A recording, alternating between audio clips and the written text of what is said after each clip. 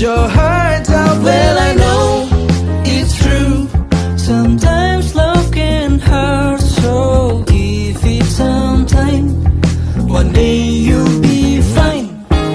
It's such a beautiful day while you're still frowning.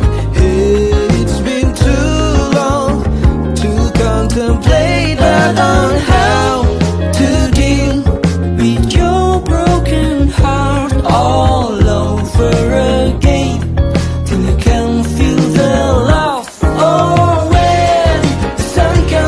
after